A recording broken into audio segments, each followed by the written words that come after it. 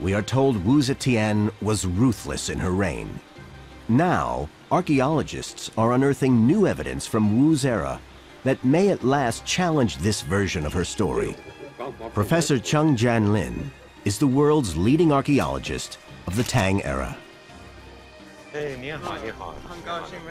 Historian Dr. Harry Rothschild has heard about some intriguing tomb figurines of women found recently that date to Wu's reign.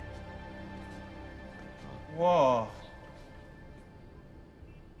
It's amazing seeing all these Tang artifacts. I've been studying Wu Zhao, Wu Zetian, for 17 years. And finally, here we are at, at, at ground zero. You, know, you can censor everywhere uh, here in Chang'an.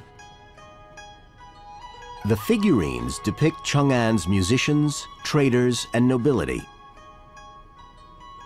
They are buried alongside the dead to ensure a wealthy afterlife, and they give clues to what changed in society during Wu Zetian's era. Here we can see a lady riding on a red horse going on a trip somewhere. That shows women are free to do things in that society at that time. Here we can see that there is another fashion, which is a lady wearing men's clothes.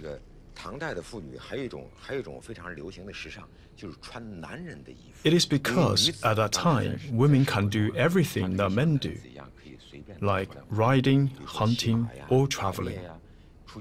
During Wu Zetian's period, women's standing became higher than ever before. Wu had ensured that during her reign, it was a good time to be a woman in China, and that freedom to flourish went to the very top of her court. She surrounded herself with women, including appointing a female prime minister